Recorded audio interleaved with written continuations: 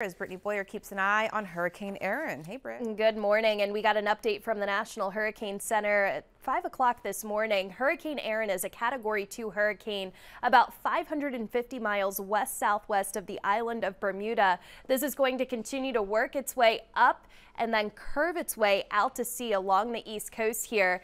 And although this isn't strengthening in terms of intensity, this is a growing hurricane, so its wind field is expanding, and that's why we're looking at a number of impacts, not just at the Jersey Shore and the Delaware beaches, but all the way down the coast into the Carolinas. Notice as we go through tomorrow, it makes its closest approach to our shoreline. So in terms of impacts, we do have that high risk for rip currents. That continues through tomorrow evening. We are going to have the building seas. Today, our wave heights are between 6 and 9 feet. Tomorrow, it's up to 12 feet. Our highest waves that we've seen since Isaias back in 2020. So it's been a while since we've had this kind of rough surf. A wind advisory has already been posted for the shore tomorrow, up to 50 mile per hour gusts. And then we do have a moderate threat for coastal flooding tomorrow evening's high tide around 7, 8 o'clock tomorrow evening.